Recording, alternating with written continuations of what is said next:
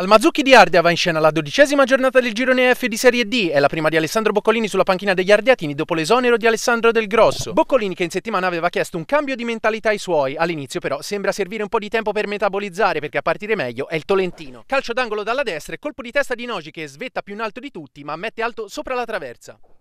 Nuova Florida che comunque entra velocemente in partita e risponde subito per le rime con D'Angelo il 16 porta palla e rientra sul destro e poi calcia ma colpisce troppo sotto il pallone non si abbassa.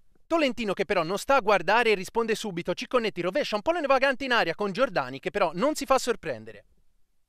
Un minuto dopo, dall'altra parte ci prova Pacillo che si fa stuzzicare dall'idea di trovare il gran gol destro dalla distanza e pallone vicino al bersaglio.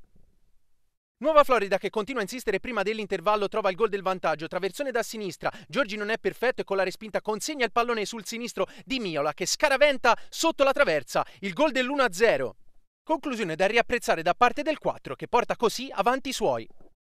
A inizio ripresa il Nuova Florida continua a far bene e il Baktawi lavora questo pallone per uh, Calombo, traversone per Capparella che arriva puntuale sul pallone ma con la porta spalancata davanti spedisce incredibilmente al lato. Poco dopo è ancora El Baktawi che prova a fare tutto da solo con la sua tipica giocata, il 92 si allarga e calcia ma trovando la risposta di un attento Giorgi che gli nega il gol del pari. Nuova Florida che da questo momento bada solo a gestire, all'85 arriva il calcio di rigore per questo contatto in aria. Dal dischetto si presenta Nogi che rimane freddo davanti a Giordani, lo spiazza e fa 1 a 1.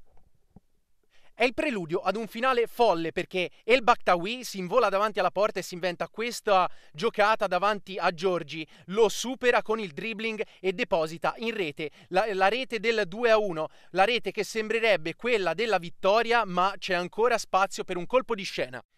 Sì, perché a recupero praticamente scaduto sugli sviluppi di questa palla inattiva, il pallone viene rimesso al centro, mischia furibonda in aria, arriva una deviazione che mette completamente fuori causa Giordani, il pallone finisce docilmente eh, in rete e, e, quindi il Tolentino trova il gol del pareggio insperato, 2 a 2 eh, pareggio beffa per il Nuova Florida. Nuova Florida che torna a far punti ma lo fa con tanto rammarico, pareggio amaro alla prima di Boccolini sulla panchina dei biancorossi, Tolentino che invece interrompe la sua striscia negativa di otto gare e torna nelle Marche con un punto di platino.